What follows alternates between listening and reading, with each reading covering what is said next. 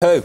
Grow up. Hoo and grow up. Grow up. We've got the lowest unemployment rate walk- since the walk 1960s. me through it. It Average is clear- Are picking up it little clear bit. that the Fed chair- needs to tighten. It is clear That's the it. Fed chair is under a little bit of pressure from some It's market under no pressure. So walk me through why you think stay the course.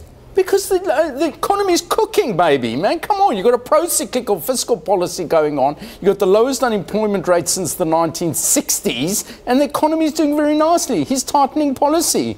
I mean, nobody in the world is because their economies are getting crushed like bugs. So, what, what, what's the problem? Oh, the equity market went down a little bit last month. Oh, boo hoo, and we don't like the Fed anymore. Grow up. I hope the Fed not has to directed at look- me. The Fed has to look over, look after over 300 million people in this true. country. He's not looking at your wallet.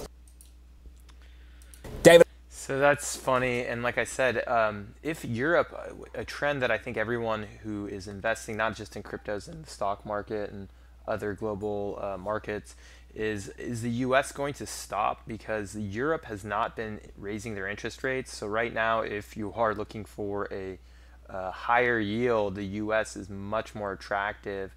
And if the central banks of Europe decide not to raise the rates and uh, keep the rates low, will this mean that uh, we won't see the kind of slowdown or what I've been predicting as rates will go up, that crypto prices will continue to raise?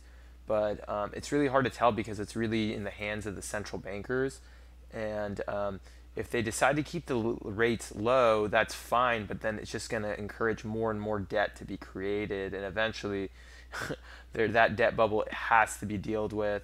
And it's just going to be accelerated if the Fed does raise interest rates. But let me know what you guys think about this, and I will talk to you soon.